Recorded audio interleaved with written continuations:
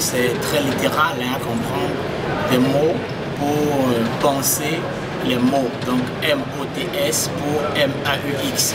Parce que vous savez que l'Afrique, le Bénin, mon pays d'origine, et le monde donc connaissent de multiples problèmes, de multiples mots. Et il n'y a que des mots qui, pour en parler, des mots qui touchent le cœur, des mots qui touchent la tête, des mots qui touchent le corps, pour que le corps prenne conscience et aille vers l'action. Donc des mots pour guérir nos mots.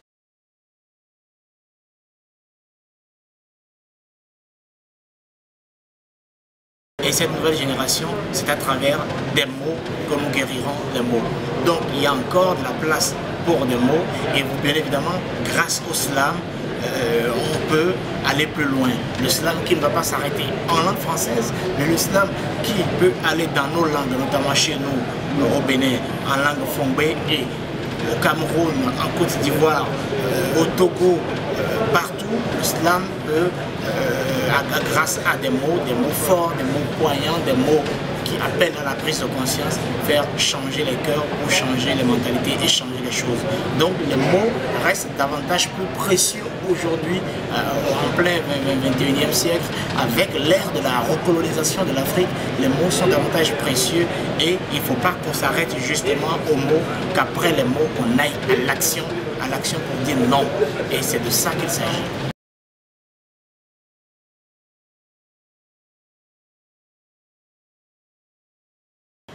En fait, j'ai fait le constat parce que euh, je n'ai pas la prétention de dire que je suis le seul slammer au Bénin. Non, il y en a beaucoup euh, qui sont talentueux, qui font, euh, qui font de, travail merveilleux. Et justement, en langue nationale fondée, il y a un slammer qui s'appelle Volcan Le Black qui, qui fait du bon slam en langue nationale fondée.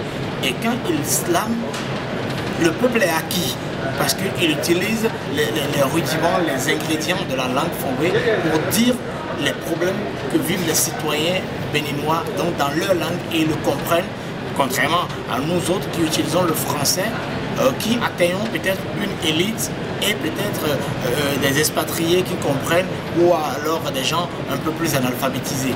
Donc le slam en langue nationale euh, africaine est quelque chose d'important. Ça permet de, comprendre que déjà en fait que dans nos couvents, euh, dans, nos familles, dans, nos villages, qu'il y avait de la poésie et qu'il y a encore de la poésie en langue nationale. Quand vous écoutez les chanteurs traditionnels de chez moi, des gens comme les Alec les Alopon, les Amipon, la, vipère, des, gens qui chantent en fongoué mais qui utilisent des, images fortes et il faut, faut s'asseoir et faire un décryptage linguistique pour, cerner euh, toute la sémantique des messages euh, livrés à travers ces, chansons, cette poésie comme poésie locale, cette poésie endogène là. Donc le slam en langue nationale ou en langue nationale africaine est quelque chose de merveilleux qu'il faut même promouvoir parce que ça permettra euh, à nos populations de comprendre toute la richesse de nos langues et de savoir en vérité que ce n'est qu'en nos langues qu'on peut dire les vraies choses parce que c'est dans nos langues que nous pouvons utiliser nos indices, nos références, tout ce qui nous concerne pour parler à nos populations et puisque c'est de ça qu'il s'agit.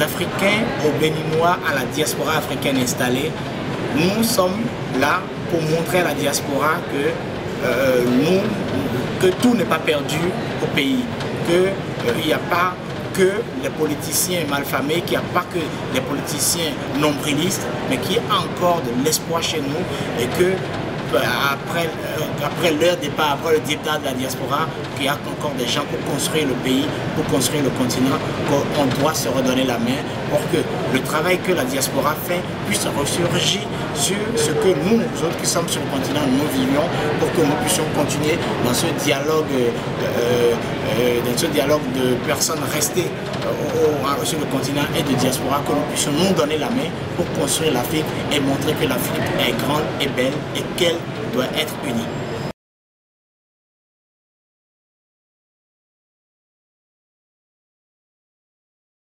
Slam que j'ai fait avec euh, la grande Queen Témé, qui s'appelle Au clair du soleil. Au clair du soleil, au clair du soleil, brillent mille et une merveilles. Entre terre et ciel, nos âmes voguent en éveil.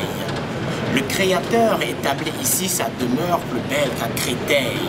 Sa barbe blanche balaie les moustiques qui troublent mon sommeil. Le frou-frou des mouches, papillons et sauterelles, le zigzag des gazelles, scelle le pacte naturel et nos parcs naturels en pas pluriel peignent l'éternel en toile maculée de vertu, nourriture pour nos prunelles. Au clair du soleil, l'humain vit encore, l'humain vaut encore, l'humain vit encore. Solitude, solidarité s'affrontent encore à corps. L'altruisme, le trésor enfoui dans le coffre fort. Nos individualités s'abreuvent à la source de la communauté. La famille est sacrée, la tradition fonde l'identité. Au clair du soleil, au clair du soleil. Big.